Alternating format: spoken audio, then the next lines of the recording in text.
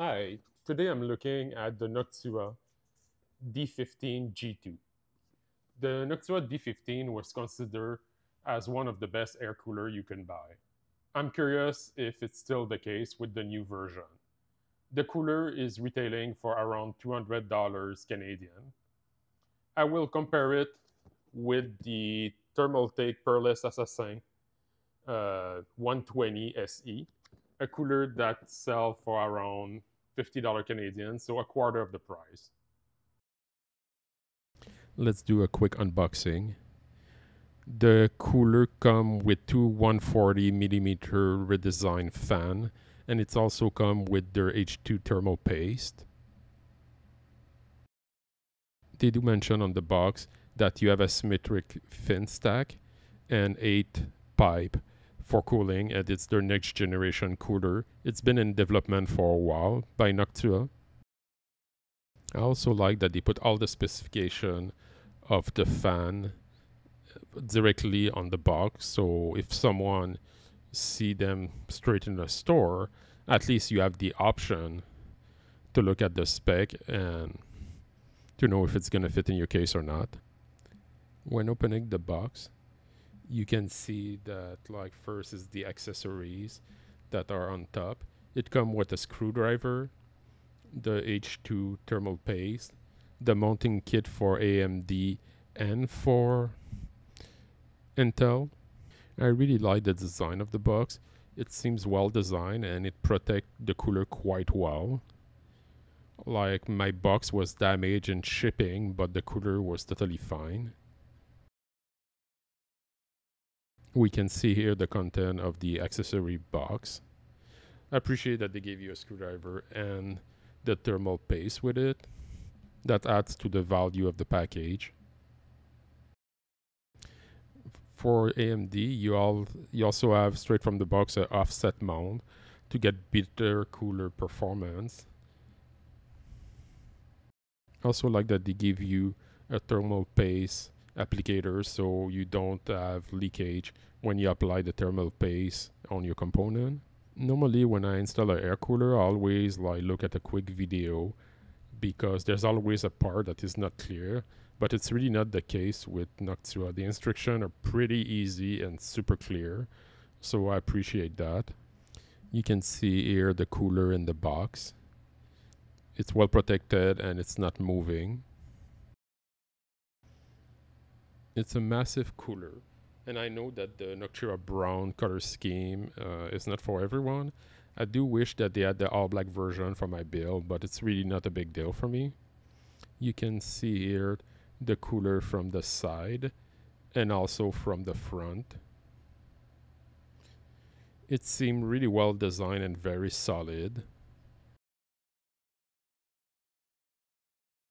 Here we can see the back of the fan when the fin stack. The surface for the CPU also look perfect. So it should be really flat and give you good performance. But of course, we'll test that.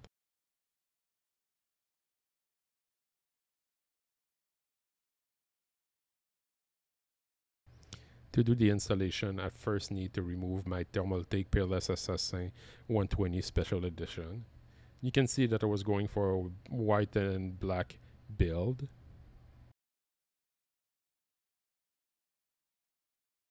After you remove the central fan, it's quite easy to access the two screw you need to remove the cooler. I had to remove the old thermal paste, but it's not, and the mounting hardware, but it's not really an issue.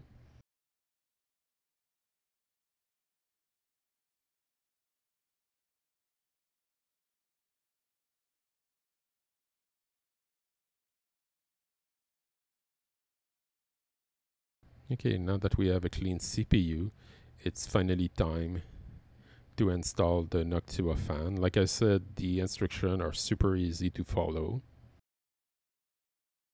You first need to put those four gray support for the screw. After that, I put the 7 millimeter supporting plate. So by default, they advise to put the offset to get better cooling performance. So that's what I did here.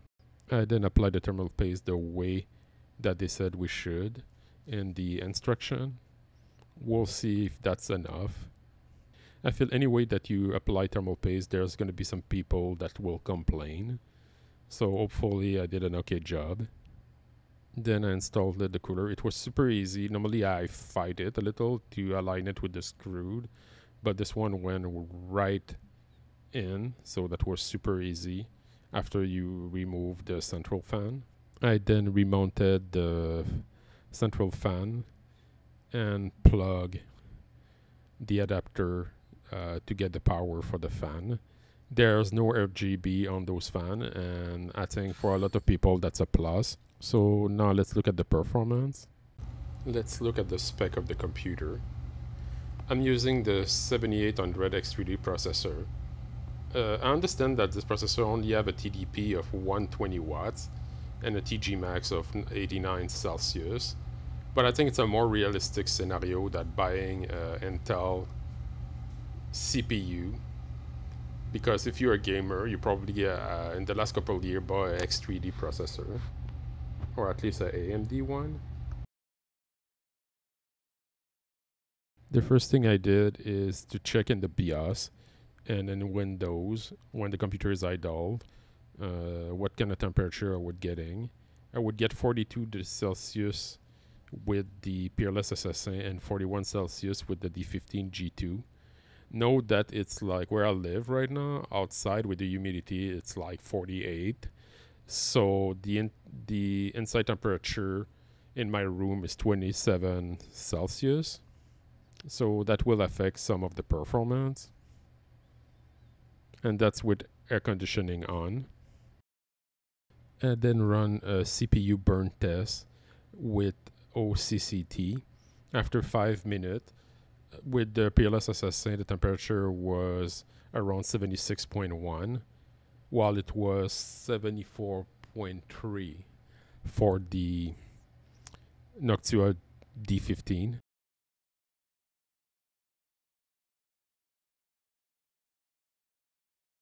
I then run Furmark uh, with the 1440p testing I know it's a GPU test, but I was curious what kind of performance I would get from the CPU. I got 54.5 Celsius with the Peerless SSA and uh, 53.6 with the Noctua D15. But of course, those are not really realistic workload. So I decided to test three games after that. I tested all the game in 1440p and keeping an eye on hardware monitor. For Divinity Original Sin 2 with ultra quality, with Divinity Original Sin 2 in ultra quality, I got 60.6 Celsius with the Peerless SSA and 61 Celsius with the Noctua D15 G2. So they're basically the same result and then the same margin of errors.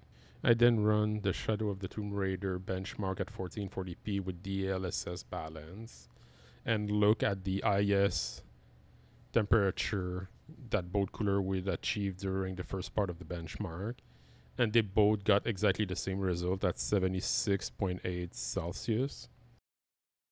I then switched to Cyberpunk 2077 uh, with DLSS at auto and ray tracing at low. I got 62.6 Celsius for the Peerless SSA and 63.5 for the Noctua D15 G2. So they're basically always close in result until we get to acoustic. While running OC CT CPU bench load, I removed the uh, thermal glass side panel from my computer and put the acoustic audiometer as close as possible of the cooler without touching. I got 43.2 decibel with the Peerless SSA, but only 37.5 decibel with the D15 G2. I was very impressed how quiet uh, the cooler could be with the CPU being at 100% usage. Of course, the case I'm using has a very thick tempered glass panel, so that would mask most of the sound. But the new fans are really impressive from Noctua. So what are the plus and minus then? On the positive, you have a new cooler with a great build quality. It's well designed and the installation is super easy. You have amazing acoustic performance. You have a six year warranty, so you can get peace of mind for that. By default, you have the offset mount for AMD, and it's super easy to install that way. And of course, Noctua reputation for support and future proofing is a good positive. Now, the negative side, I think the price and the value for the performance you getting, and let's be clear, the thermal performance, not the acoustic one, versus the competition, is something to consider. So, what are the conclusion here? Well, the D15 G2 is a great cooler with a great build quality and easy to install. The issue is the performance for the price. You can get a competitor like the Peerless Assassin 120 for around a quarter of the price. And for the cooling, you probably get to 95 to 98% of the performance there. The acoustic is where it really shines. The fans are amazing, and you can see how quiet they are. So I think for most users, it's going to be a tough pill to swallow uh, paying $200 for that cooler, Canadian for that cooler. But um, enthusiast user know that you also buy an Noctua for the support and the quality of the component. You know that like if in 2027 AMD launch a new socket AM6 and the mounting hardware is different, you know that you'll be able to get the mountware hardware directly from Noctua for free also uh, their support responds super fast. Uh, I contacted them to get the the last price list for the media, and in one hour, I got a response by email. And when I recontacted them to know if I should get the AMD specific version or the G2 like I got here, in an hour also I got a response by someone saying, "Well, if you use the offset bracket, you should get around the same kind of performance, and you would get the versatility." uh, being able in the future to mount it to uh, Intel hardware if you need. So I really appreciate how quick uh, the support is, and you can see it's an engineer company first. You so you also have a six-year warranty, uh, and often cooler like will be used more than one build. So having that peace of mind also have value I'm also curious if we're getting to the limit of what's possible with uh, air cooling with a big tower of aluminum fin. That's one of the issues is that for 200 you get in AIO uh, territories. I personally like air cooling because if you have a catastrophe, uh, you don't have liquid everywhere in your computer. But it's also something to consider for the price. Thanks for watching.